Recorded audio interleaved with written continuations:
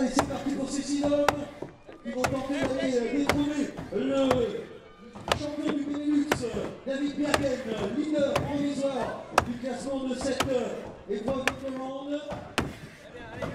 Allez, ça tape très fort et ça pourrait bien bouger au sommet du tableau de cette épreuve de marche. Attention au chrono de ces garçons. Tape pour euh, Zdenek Mata, le jeune tchèque, excellent. Très Terminé. bon temps. Jean-Pierre Mercier qui suit derrière. Avec notre Italien. Ah, il est très bon temps. Des très bons temps. J'ai l'impression, ouais. Allez, jetez un petit coup d'œil. euh,